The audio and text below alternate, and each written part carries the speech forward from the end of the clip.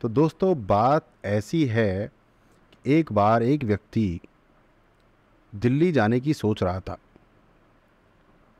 और सोचते सोचते वो तैयार भी हो गया।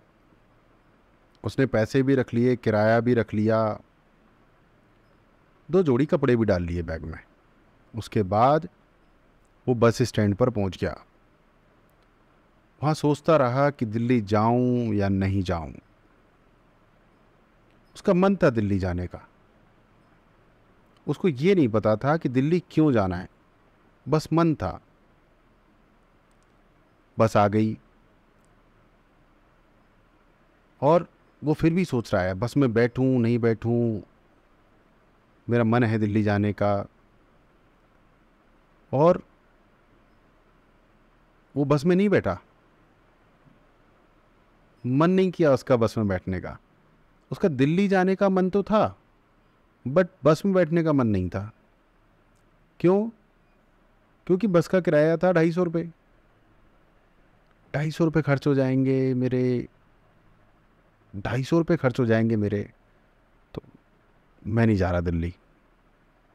और सिर्फ़ ढाई सौ क्यों खर्च होंगे? फिर आने में ढाई सौ खर्च होंगे, फिर खाने पीने में भी हो जाएँगे। कुल मिलाकर यार, हज़ार पंद्रह सौ रुपये खर्च हो जाएँगे। अब मैं दिल्ली नहीं जा रहा हूँ।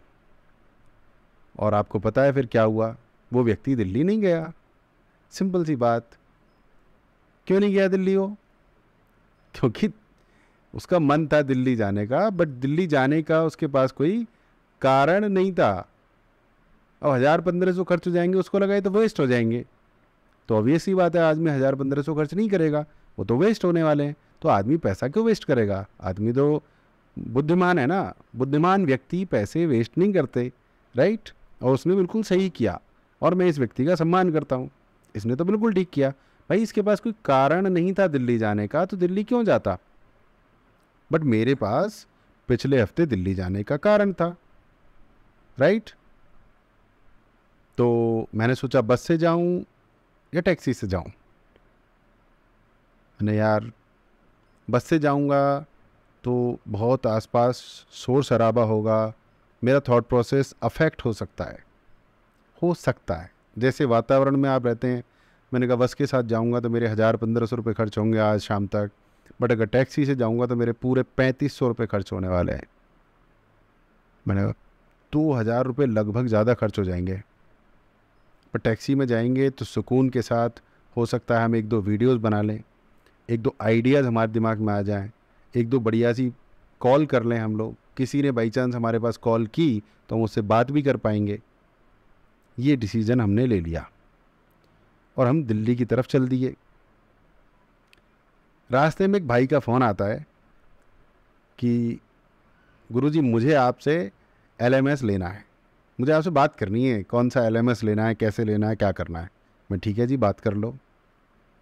तो उन्होंने बातचीत की। हमारी बात हुई पूरे पौने घंटे। अब बस में तो ये पॉसिबल नहीं था और बहुत सारी बैकग्राउंड नॉइस आती तो उस बंदे को भी अच्छा नहीं लगता था। तो हमारी बड़ी आराम से बात हुई और अल्टीमेटली वो बंदा इतना इम्प्रेस हुआ बातचीत से क्योंकि मैं भी फ्री होकर बात कर रहा था फ्री ही था। और बंदे ने एक एलएमएस ख़रीद लिया मेरे एफिलिएट आईडी से और उस एफिलिएट लिंक से हमें जो कमीशन मिला वो था पूरा दस हज़ार रुपये हमने टैक्सी लेकर दो हज़ार रुपये ज़्यादा खर्च करने का डिसीज़न लिया था जिससे कि हम सही से अपना बिज़नेस कर पाएँ। सही से दिमाग हमारा सेट रहे।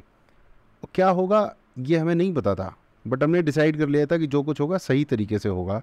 तो आप सही तरीके से काम करोगे तो रिज़ल्ट भी सही तरीके से आएँगे, ये सोच के किया था और यूनिवर्स ने सुन ली और हमें एफिलेट इनकम आ गई राइट इतना ही नहीं, इस व्यक्ति ने ये भी कहा कि गुरुजी आगे चल के मैं आपका पूरा कोर्स ज्वाइन करने वाला हूँ, फ़िलहाल फाइनेंशियल क्राइसिस की वजह से नहीं कर रहा हूँ बट एक हफ़्ते बाद मैं आपका पूरा कोर्स ज्वाइन करूँगा, क्योंकि आपने कोर्स ही इतना मज़ेदार बनाया है। ठीक है भाई तो आगे की इनकम भी सेट कर गया भाई। तो आप यह समझने की आ, कोशिश करें। पहले मैंने दिल्ली जाने का डिसाइड किया क्योंकि मेरा दिल्ली जाना ज़रूरी है। जिस काम के लिए मैं जा रहा हूँ वो होना ही होना है राइट तो मेरे पास ऑप्शन नहीं कि मैं दिल्ली ना जाऊँ। फिर आ, दूसरा ऑप्शन कि बस से जाऊँ कि टैक्सी से? तो वहाँ भी मेरे पास रीज़न है कि अगर मेरा थॉट प्रोसेस सही रहेगा तो आगे के मीटिंग भी अच्छी रहेगी, जहाँ मैं जा रहा हूँ, वो वो भी सही रहेगा और मैं थकूँगा नहीं, फिर मुझे ऑटो नहीं लेना पड़ेगा, रिक्शा नहीं लेना पड़ेगा। मेरे पास रीजनिंग है, कारण है वाई क्यों करना है कोई काम। तो वो डिसाइड किया। उसकी वजह से हम वहाँ सीधे वहाँ तक गए टैक्सी से, जहाँ मैं उतरना था। और खुश तो हम वैसे ही हो चुके थे। दस हज़ार रुपये की इनकम हो चुकी थी रास्ते में ही राइट तो अभी जो कॉन्फिडेंस था ना, सातवें आसमान से उठ गए, चौदहवें आसमान पर था। चौदहवें समझ रहे हैं fourteen fourteen so confidence was good everything was good day was good after spending rupees two thousand extra everything was going good so आप इस वीडियो से बहुत कुछ समझ चुके होंगे कि आपके पास जब तक कोई बहुत बड़ा कारण नहीं होगा ना दोस्त, आप कहीं जाओगे नहीं। आप सिर्फ़ ये सोचते रहोगे, यार, सौ रुपये खर्च हो जाएँगे, दो सौ रुपये खर्च हो जाएँगे। आप अपनी नॉलेज शेयर करना चाहते हो डिजिटल कोच बनना चाहते हो बट आपके पास कारण नहीं है, क्यों करना चाहते हो? तो आपको लगेगा कि ये एलएमएस बहुत महँगा है ईमेल मार्केटिंग का टूल बहुत महँगा है, और ये लाइव स्ट्रीमिंग का टूल बहुत महँगा है, ये माइक तो बहुत महँगा है, सस्ता माइक देख लूँ। आप एक्सक्यूज़ देते रहोगे।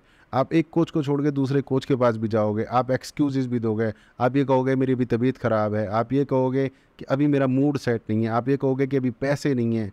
आप एक हज़ार बहाने लगाओगे जब आपके पास ये नहीं होगा कि कोई काम क्यों करना है। आपको कोच बनना है डिजिटल मार्केटिंग करनी है, क्यों करनी है? आपको इस चीज़ का भी रीज़न चाहिए दोस्त कि पैसे क्यों कमाने हैं। बहुत सारे पैसे क्यों कमाने हैं? अगर आपके पास रीज़न नहीं होगा ना बहुत सारे पैसे कमाने का तो यकीन मानिए दोस्त, आप पैसे नहीं कमा पाएँगे। कमेंट करके बताइए, कहानी कैसी लगी, मैसेज कैसा लगा और अच्छा लगा हो तो प्लीज़ दिल से लाइक कीजिए और शेयर ज़रूर कर दीजिएगा। बहुत बहुत धन्यवाद, नमस्कार।